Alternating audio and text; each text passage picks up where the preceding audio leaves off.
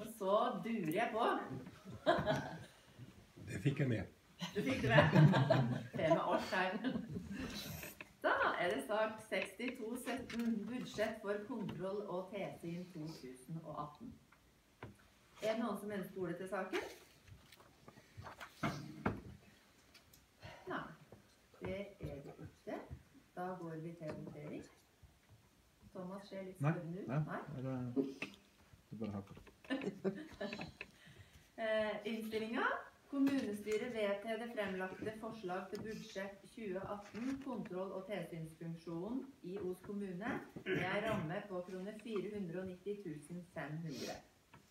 Og Den som da støtter innstillinga, forholder seg i ro. Den som eventuelt ønsker stemning imot, viser det. Da er innstillinga enstemmig vedtatt.